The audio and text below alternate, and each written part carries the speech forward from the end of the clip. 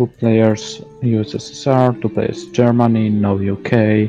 Who the fuck is playing Portugal? Get out of this shit. Portugal here, fuck you, man. But why? It's useless. We need UK player, for instance, or two. Argentina. Really? Yes. Just go on the Yugoslavia already. Oh, and Turkey. Hmm, hmm, hmm. Okay, I'll go with Poland. How about that?